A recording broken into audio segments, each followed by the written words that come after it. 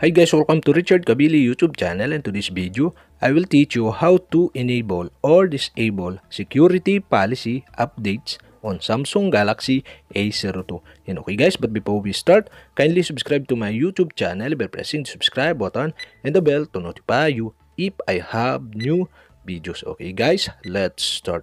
So okay guys, all you have to do is go to setting in your Samsung Galaxy A02 In settings, scroll down and find the security. Okay, tap the security. In security, you can see the other security settings. Okay, go to other security settings. Okay, here in other security settings, scroll down and below you can see the security policy updates. And on the right side, you can see the switch button. And okay guys, to enable the security policy update to your Samsung Galaxy A02, you'll have to do is switch on the switch button on the right side. And if this turn on, keep your phone secure with the latest security policy. And okay guys, to disable again, you'll have to do is switch off the switch button on the right side.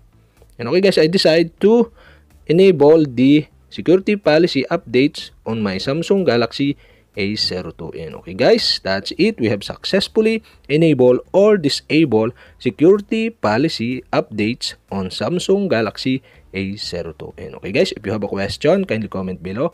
And don't forget to hit the subscribe button and the bell to notify you if I have new videos. Okay guys, thank you for watching.